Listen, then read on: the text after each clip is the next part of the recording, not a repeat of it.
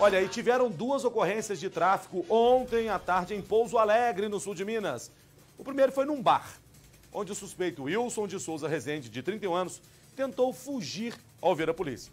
Com ele estavam 175 papelotes de cocaína, um celular e dinheiro.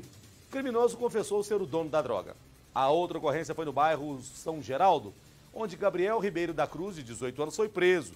Ele disse à polícia que é dependente químico. Com ele foram encontradas 43 porções de crack.